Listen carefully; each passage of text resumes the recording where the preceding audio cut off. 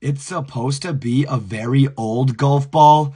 Guys, in my last video, we cut open a golf ball, but you guys were all telling me that I got the wrong ones. So I found these golf balls online and I'm going to open them up and grab one out. And apparently this is like an older brand of golf ball and it's going to ooze out and be like super satisfying when I cut it open.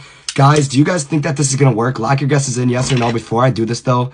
I personally think that this is cap, but I don't know. You guys told me I got, so I got these and we're going to cut, cut it open and find out. All right. Three more times. Two, three.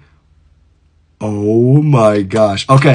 Before I show you guys the results, oh shoot. Hit that red plus button so you never have to wonder if something is real or fake on TikTok ever again. So hit that red plus button right now. Go, go, go. As you guys can see, it does nothing and this is still fake.